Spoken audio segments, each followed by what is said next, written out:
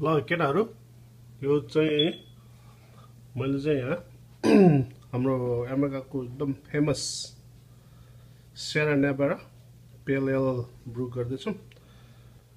So अहिले चाहिँ हाम्रो यो मेरो प्राइमेरी फर्मेन्टेसनबाट त्यो कम्प्लिट भएर अहिले सेकेन्ड्री गरेर छ। सेकेन्ड्री गरेर चाहिँ ग्लासमा हालेर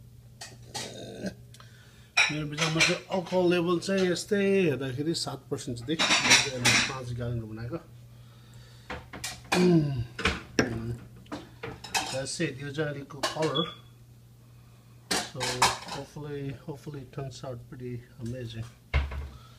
So maybe another couple more weeks and should be all bottled and refreshing drink.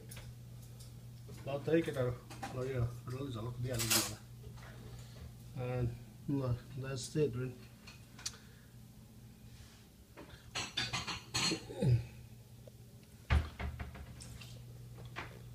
लके बासन चाहिँ एकदमै राम्रो बासना आएछ